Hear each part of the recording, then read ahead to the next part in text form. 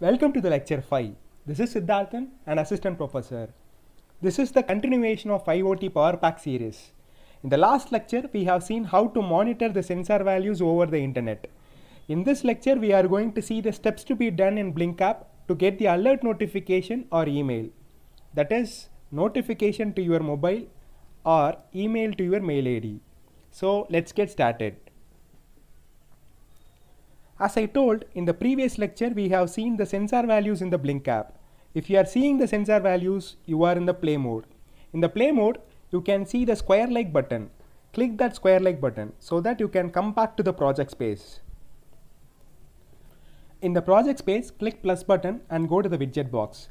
In that, first select Eventor under other. After that, select notification under notifications.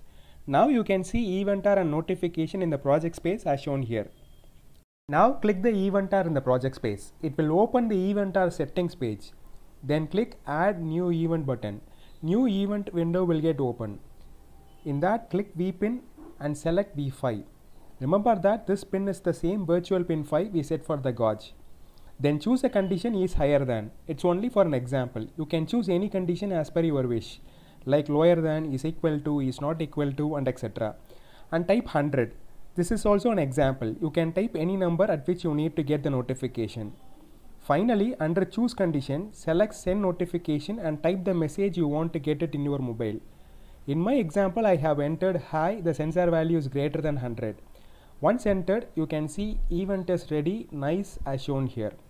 Finally click ok Additionally, you can send email. To do that, first add email in the project space from the widget box. Email will be under notifications.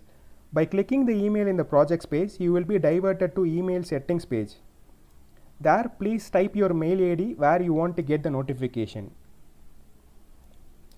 For sending email notification, again click Eventor in the project space and click add new event button. Then click vpin value and select v5. Choose a condition is higher than and type 100.